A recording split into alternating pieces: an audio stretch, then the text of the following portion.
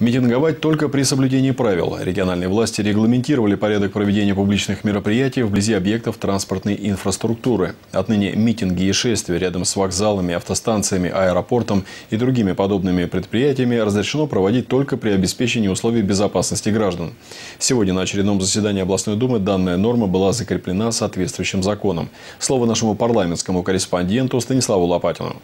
Еще в прошлом году федеральным законом установлен перечень мест, где проведение митингов или шествий в целях безопасности граждан было запрещено. По транспортным объектам, которые туда не вошли, принятие решения оставлено за регионами. В принятом областными депутатами законе предлагается ввести ограничения на публичные мероприятия, если их проведение планируется рядом с сооружениями, находящимися в аварийном состоянии, или если там идут ремонтные работы. Представители фракции КПРФ, усмотрев в этом ущемление прав граждан, предложили ориентироваться лишь на перечень мест, определенный федеральным законодательством. В той редакции, которая сегодня выносится на второе чтение в областном законе, мы расширяем полномочия э, местных структур. Мы расширяем возможность, вот э, перечень тех мест и тех обстоятельств, когда проведение публичных массовых мероприятий на объектах транспортной инфраструктуры может быть запрещено, и мы считаем, что это абсолютно недопустимо. Большинство депутатов заверили оппонентов, что их опасения напрасны, ведь речь идет не о запретительных мерах, а об обеспечении безопасности как граждан, так и самих транспортных предприятий, многие из которых являются стратегически важными объектами. Объекты относятся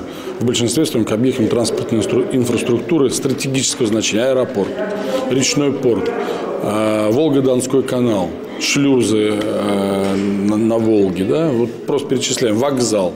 Конечно, это объекты, которые являются устремлением э, любых провокаторов, в том числе и могут быть и экстремистские выходки, и террористические выходки и мы должны быть готовы. Также на заседании Думы депутаты заслушали отчет уполномоченного по правам человека Волгоградской области о работе за прошлый год. По количеству обращений к омбудсмену их было около 6 тысяч, что на 20% больше, чем в 2009 можно говорить о растущем доверии граждан к этому правозащитному институту. В основном волгоградцы жаловались на нарушение жилищных и трудовых прав, пенсионного законодательства. Практически по каждому третьему вопросу удавалось найти положительные решения. Но парламентарии считают, результат мог быть еще лучше, будь у омбудсмена больше возможностей, для чего, по мнению депутатов, необходимо уполномоченному по правам человека дать больше самостоятельности и независимости, а также наделить его правом законодательной инициативы. Станислав Лопатин, Алексей Лунев, телекомпания «Ахтуба».